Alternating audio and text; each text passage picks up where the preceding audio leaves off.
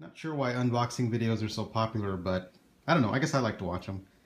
So here is my uh, MD500E. This is a Funkey model. Uh, Funkey models. I got this from Heli World. Um, it's actually going to be going on this 600 Align 600 ESP that I've had for oh god five years now, and it's actually been sitting for about three, two or three years. I haven't been doing anything with it, and so I was going to sell it, and then Heli World had a sale for this 50 size fuselage, which is normally about um, about $400 for basically was $200 shipped. So that's pretty good. So we're gonna unbox it here and uh, see what's inside. Okay, it's the Funkey Air Models Manufacturing. Um, this is the green one, MD500E, 50 size. So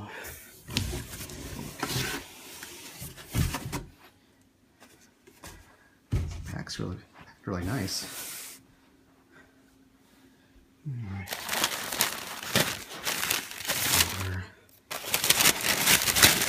Maybe some of the windshield. Oh, it's kind of tinted. Cool.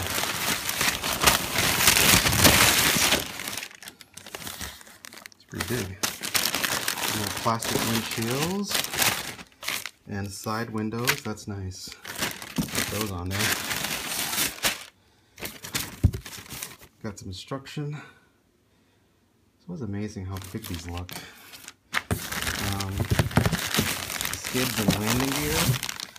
That's been one problem, maybe I'll show in the build, is that these landing gear, ooh, they're huge, holy crap, um, are a little bit short. They make it look kind of squatty. So I might decide to modify these and make it a little bit longer using some uh, brake line. As I was lifting it, something fell out of it. It looks like it's the uh, little blinky light on top of the uh, hmm, that just broke off. That's not good. Just glue it on there, no big deal. All the pieces parts, and I think these will have uh, all the stuff to put on to my particular helicopter. Um, my line. Just terraformed really nicely. Got some foam and paper.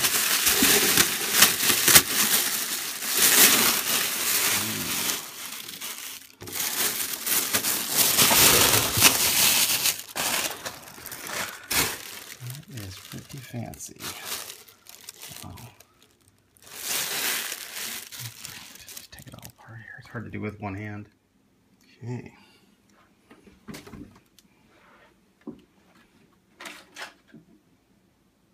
That's pretty nice. Oh, San Diego Sheriff's. I didn't see that before. I saw the sheriff. Huh, I might have to change that to Meeker County Sheriff somehow. Figure that out, how I'm going to do that. And I'm thinking about putting a Meeker County Sheriff here. Let's find that work, can we? Inside. Wow, it's got carbon fiber down the end. Fiberglass looks nice and thick. Very nice.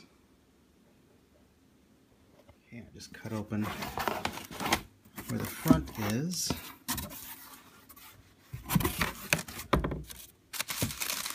It's very fragile. Some balsa pieces in there kind of hold it together. Go careful here.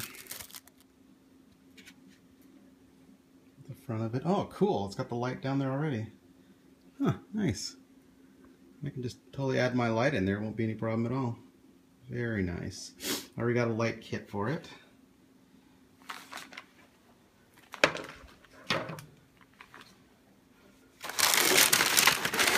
Be using this common sense light kit. It's like 20, 25 bucks. Not bad. Be putting that in there. all together here. All together. There's no magnets in there, so I think I'm going to probably add some magnets to hold the front end on. Be better than bolts. Pretty good size. Not bad. It's beautiful. Beautiful uh, paint and fiberglass work. Alley next to it.